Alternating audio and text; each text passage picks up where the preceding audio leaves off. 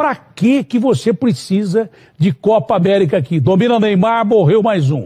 É, deu pela esquerda, recebeu o lateral brasileiro, morreram mais 30. Para que isso? Para que isso? Para que isso?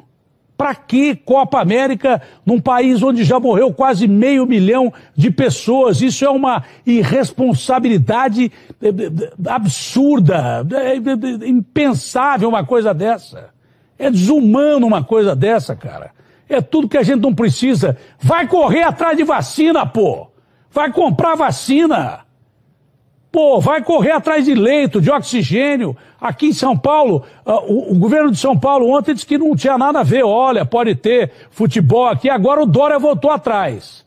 E ontem eu dei um cacete aqui, falei, pô, o, o, governo de São Paulo, o governo de São Paulo disse o que ontem, ô Garrafa? Que não era contra, não tinha nenhum tipo de problema. Ontem disse que não era contra, hoje eu dei um cacete ontem. Falei assim, ah, mas o governo de São Paulo que é contra, que é a favor da ciência e da tecnologia, diz que é tudo legal, Copa América aqui, hoje o Dória voltou atrás, voltou? Agora em nota, saiu agora mesmo.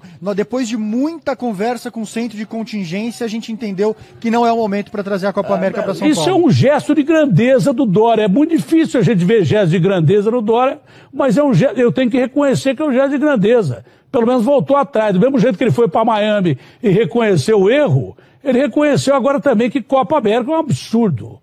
E, e, e fez muito bem.